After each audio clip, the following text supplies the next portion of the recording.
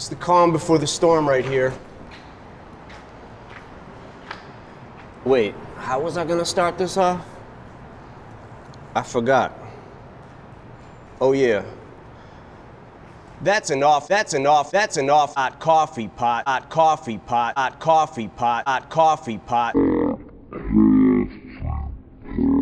pot. coffee pot, coffee pot, coffee pot, coffee pot, coffee pot, coffee pot. Should I drop it on Donald Trump? Probably not. Trump, probably not. Trump, probably not. Little did I mention. That's an awfully hot coffee pot.